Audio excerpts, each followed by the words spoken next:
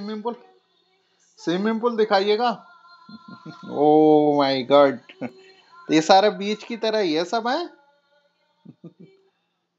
पूरा बीच ही लग रहा है तो पूरा सामने जो है से किस टाइम हम्म तो ये और कौन है इधर? मोटा भाई भी है इधर किंग हो रहा है होटल के, है? तो ये वो है क्या ये? सब इधर ये लगी हुई है स्विमिंग पूल की ये पूल है क्या ये? हम्म,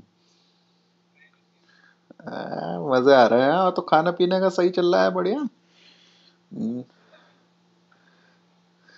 चलो। बस बढ़िया बस अल्हम्दुलिल्लाह यही है कि बस अभी जो है रमज़ान की तैयारी हो रही है बस देखो जुमे को पहला जुमे का पहला रोज़ा हो जाएगा इनशाला हम्म।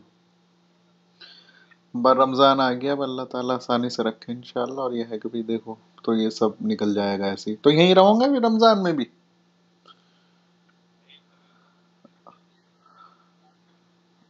हाँ अभी तो खैर यहाँ की गवर्नमेंट ने बोल दिया है कि भाई अगर ऐसा रहा तो जून में लोगों को इधर से निकाल मतलब जैसे कि छुट्टी भेज देंगे सबको, किसी के तीन महीने, किसी को छह महीने, ऐसे भेज देंगे इधर से। जून, क्या बोल दिया उधर? हाँ वही वही वही, वो तीन महीने किसी को छह महीने सबको निकाल देंगे जून में इधर से। जून तक ये रहेगा।